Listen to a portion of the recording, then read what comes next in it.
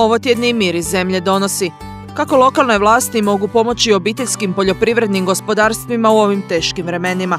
Zašto poljoprivrednici sve više odustaju od sadnje naše tradicionalne vočke trešnje? Kako napreduje projekt certificiranja hrvatskih tržnica? A otkrivamo vam i tko je ovogodišnja pobjednica izbora za najuzorniju seosku ženu Bjelovarsko-Bilogorske županije. Sve to, kao i niz poljoprivrednih informacija i zanimljivosti, donosimo u mirisu zemlje.